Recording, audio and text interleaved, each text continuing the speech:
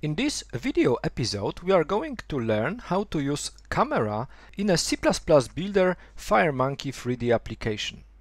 I have already created a blank multi-device C++ Builder application. The very first thing to do is to add a viewport 3D component so I can use some 3D components that will be embedded into it. I'm going to align my viewport 3D to the whole screen and change the background color to something different than white, for example to teal. Okay, I'm going to add a shape 3D component to my uh, viewport.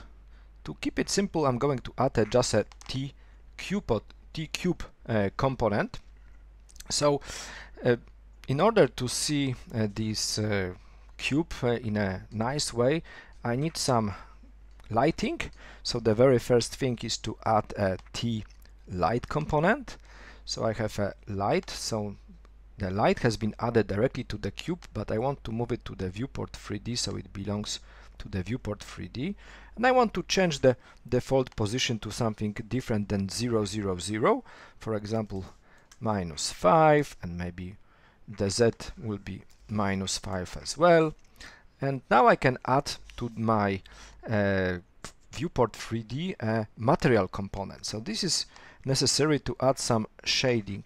So I'm going to use a T light material component uh, source and I'm going to keep the default values and I need to connect this light material source to my cube. There is a material source property for it. I can connect it directly. I can actually change the rotation of my cube a little bit uh, so it looks uh, nicer. Okay, let's save it and run. So my application now uh, shows a cube component, but I have not added any camera. This is because every viewport component has a built-in camera. We have a using design camera property that is set to true. So if, if I want to use an explicit camera, I want to add this camera to the form. Before I add the camera, I want to add a T-dummy component to my uh, form. So T-dummy component is useful component uh, in a 3D application. It does not have any visual representation, but it acts as a container for other visual components that you can group. So I'm going to add a camera component to my dummy component. I'm going to change the dummy uh, name from dummy 1 to dummy xy and camera to be camera z. So why I'm doing this? So notice that camera, when I add it to the dummy, by default it has a position x0, y0 and z minus 5.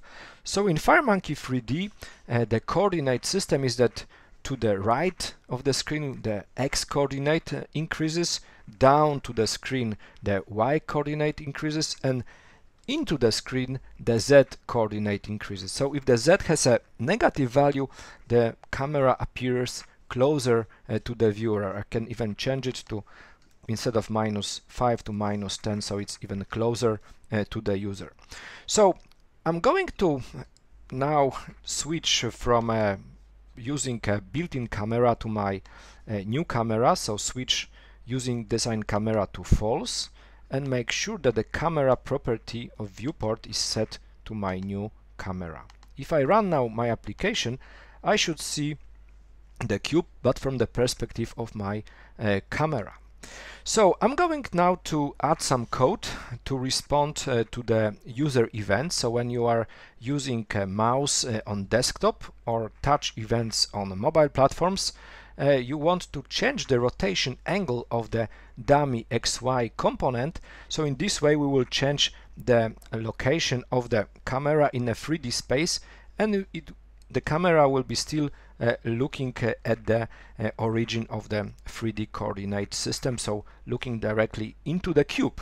So I'm going to add two events to the form. So on mouse down event.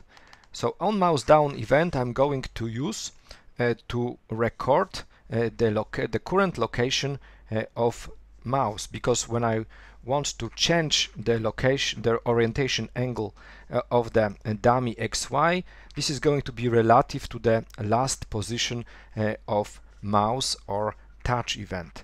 So I want to define as part of my form, so in the header file, I'm going to define a private uh, member uh, of type t-point f so it's just a record with x and y uh, coordinates and it's going to be called f down. So now inside of my uh, implementation I can just uh, write code to remember the coordinates uh, of the last time that the end user presses the mouse or uh, clicks the mouse or touches the form. Okay, so now I remember it. So that the second event I want to uh, implement is on mouse move. So this is uh, where the actual changing of the rotation uh, of the dummy XY will happen. So first, I first of all, I want to uh, respond to move events only if the end user actually presses the left uh, left button. Uh, so if my if the shift contains um, SS left, then we can do uh, do some actions. So I'm going to change the uh, rotation, the rotation angle of uh, rotation angle x, rotation angle x. So I'm going to copy this rotation angle x because this is going to be in the relative to the last one.